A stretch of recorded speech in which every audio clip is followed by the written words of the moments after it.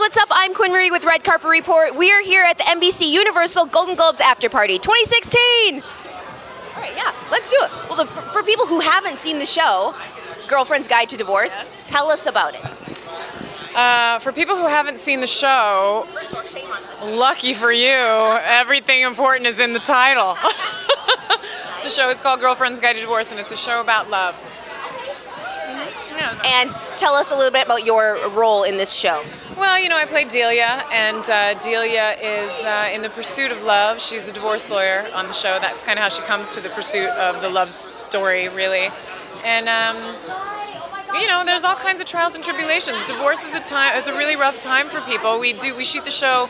Obviously, um, we take a lighter perspective on it, but it's a really sophisticated conversation, and I think uh, that viewers are tuning in because it's fun, and there's a, a you know we celebrate fashion and beauty, and for sure. Uh, Something for everyone, it's relatable. Right, but I think it's um, surprisingly sophisticated when it comes to this conversation. I think it really hits home for a lot of people.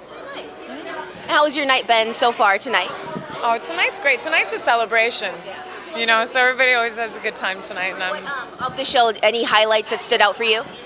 Um, yeah, I was really happy to see um, Mozart in the Jungle win.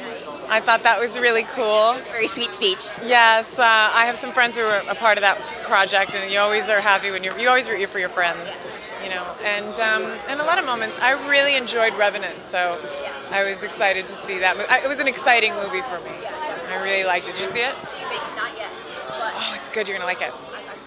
I mean, there were so many good projects this year, so it was cool to see them celebrated. They were going through the list of people like best actor. I was like, God, that was a list. Like, Yeah, the movies were so good. The shows are so good. It's really I mean, uh, just related topic, just personal opinion. Do you think this is the year for Leo, Oscar Leo, or what do you think?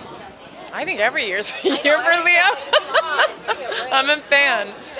I'm a fan. I don't know. I mean, I, I feel like he's so good. I feel like there's so many good actors, um, all of whom I look forward to working with all the time. I love actors. I love to watch actors work. So, be it this year, not this year, I don't know if, if you know.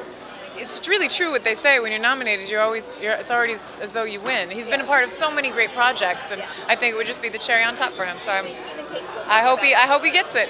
Why not? Anyone you're looking forward to hanging out with tonight? My girlfriend Aja King is here. She's my partner in crime. How to Get Away with Murder and Girlfriend's Guide to Divorce are double teaming tonight.